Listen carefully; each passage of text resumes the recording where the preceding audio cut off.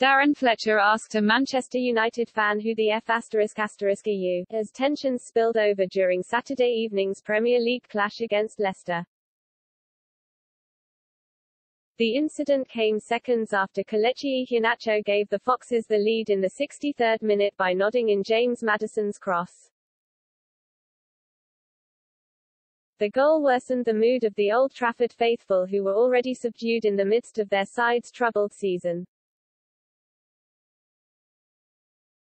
Although Fred rescued a point by equalizing three minutes later, the draw did little to help United's hopes of securing Champions League football and they slumped to seventh in the table by the end of the weekend's fixtures.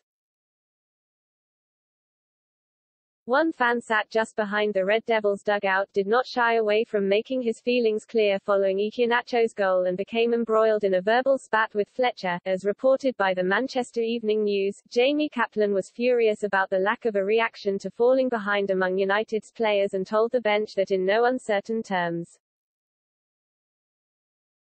The lifelong supporter, who first visited Old Trafford aged six, insists he was not aiming a dig at Fletcher in particular but the technical director took issue and retorted by declaring who the F asterisk asterisk you.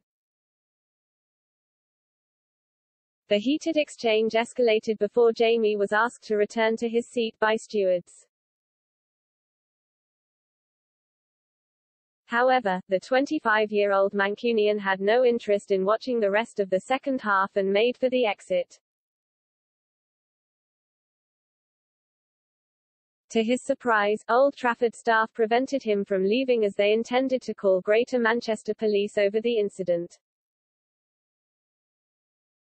At this point, Jamie and the stewards could hear the cheers of United fans as Fred turned in the equalizer. He was allowed to leave 10 minutes later having been applauded by some other supporters for his show of defiance about the current situation at United. Jamie was attending his 12th home game of the season and admits he was underwhelmed by the atmosphere in the South Stand as he found himself singing alone during the first half. He previously held a season ticket which he gave up during the coronavirus pandemic and still intends to return to Old Trafford. However, he may need to draw a line under the incident with members of the club staff in order to avoid a stadium ban. Nonetheless, Jamie has no regrets over his altercation with Fletcher, which was the product of built-up frustrations over a perceived lack of effort and the cost of attending fixtures. He concluded, I still don't think I was in the wrong and I'd do it again.